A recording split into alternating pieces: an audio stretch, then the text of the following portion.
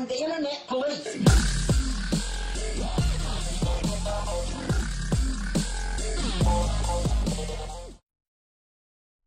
What is up, guys and gals? It's Cekani Pro here, back with another Minecraft Build It episode for you.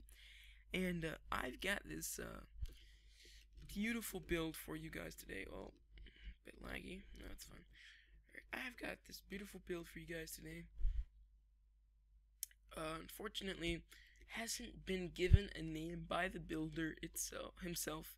So, for the time being, until I don't know the official name, it'll be just called the, the Clock Tower, or the yeah, the Clock Tower. Uh, let's just get in here, actually.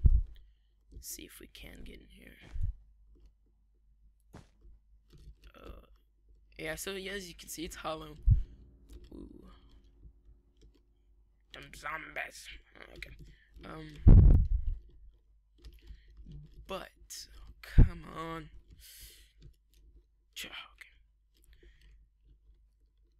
Nonetheless, an amazing build that must have taken a relatively large amount of time, as you can see the size, uh, compared to, let's just say, the, the little cannon.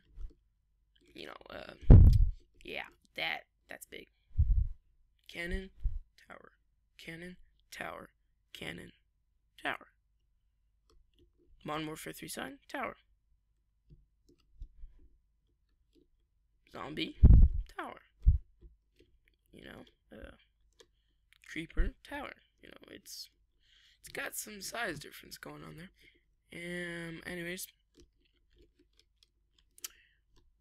so this is our amazing build. This is the only thing that we have for today. But don't be um saddened, guys.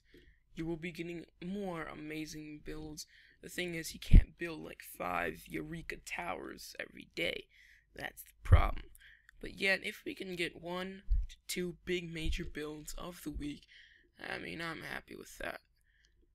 It's beautiful, additive to our little town, and the download link will be available on the 50th video. We are almost there, guys. Stick with us just a bit longer, and you'll be having this beautiful download link to share to the world.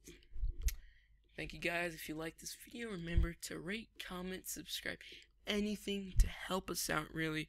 Share it with your friends, tweet it out, you know. If you like it, just show us that support.